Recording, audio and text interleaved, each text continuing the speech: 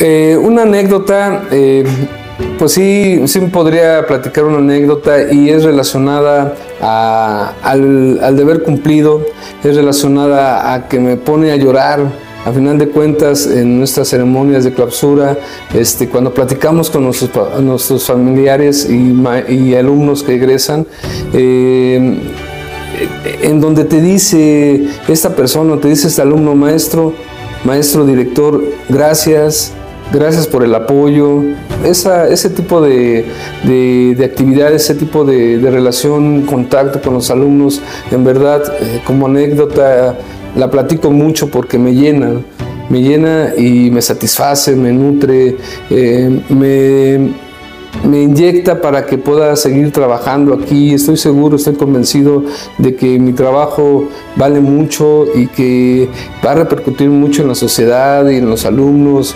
en, las familias. Estas historias que, que podría yo contar, pues son de las más favorables, porque a final de cuentas un alumno que agradece, un padre de familia que agradece, es para nosotros la vitamina y, reforzar el compromiso educativo para ellos. El prestigio se va dando con el tiempo, no es de un día a otro.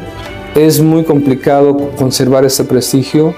Eh, no es nada más ser fama eh, con publicidad y llenarnos de, en todos los medios sociales y de comunicación eh, que hablen de la Universidad de Londres, sino el, el recomendar, ¿no? El que tengamos alumnos que, son recomendados, tenemos alumnos que sus, sus, hermanos o papás han estado con nosotros y poco a poco ellos van dando, eh, van abriendo la puerta para nosotros.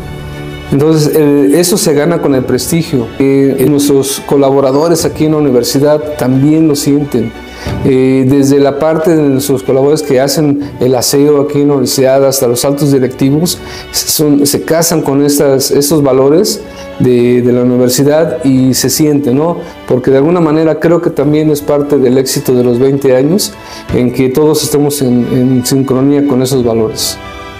Universidad de Londres, Estado de Querétaro. Prestigio que forma historias.